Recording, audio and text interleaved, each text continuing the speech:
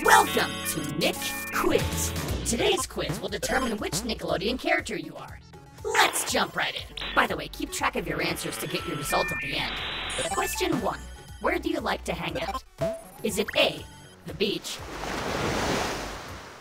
B, around the TV? C, at the park? D, on rooftops? Cow! Slam! Bung! Or is it E, in a backyard? Guys, no horseplay. What about elephant play? Alright, question 2.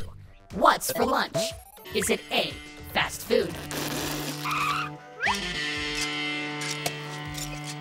B, fajitas? Happy Fajita Friday,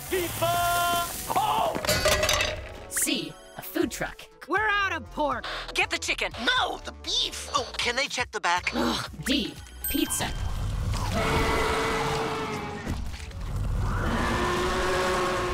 Or E, sandwiches? You want to try half of my peanut butter and sauerkraut sandwich? Boy, this quiz is making me hungry. Question 3. What do you do for fun? A, spend time with your pets? Go and get it. Go and get it. Go and get it. B, conventions?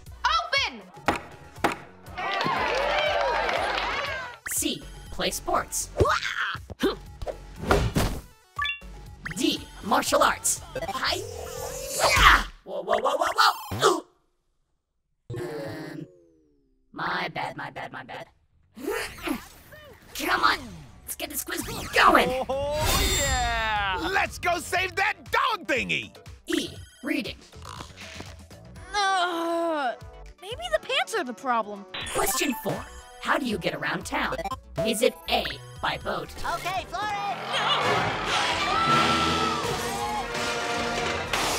B, flying? C, by skateboard? That was amazing. D, jetpack? Uh-huh, uh-huh. Or is it E, your parents' car?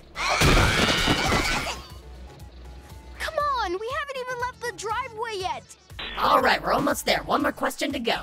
Question 5. What color clothes do you like to wear? A, is it mostly the color brown? B, red and blue colors? Fished!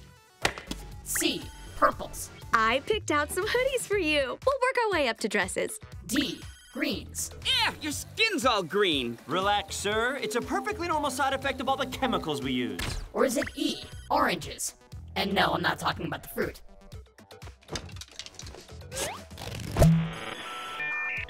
All right, your results are in. Let's see which Nickelodeon character you're most like. According to my calculations, if you answered mostly A, you're SpongeBob. Ah! I tried my best with that impression.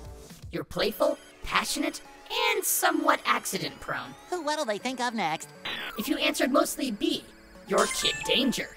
You're brave and adventurous, and you have a witty sense of humor. Let's blow some bubbles and fight some crime. If you answered mostly C, you're Ronnie Ann. You're bold, tough, and thrill seeking, but you have a soft spot for friends and family. I'm one step ahead of you. If you answered mostly D, you're Donatello. You're smart and crafty, especially when it comes to tech, and you're not afraid to be a little prideful about it. I concur. And if you answered mostly E, you're Lincoln Loud. You're observational, imaginative, and you have a tendency to overplan things. Bye-bye. Did you like your results? Because I sure did. You know what else you'll like? Subscribing to Nickelodeon's YouTube channel for more quizzes like this and other fun videos. I'll see you next time, only on Nick.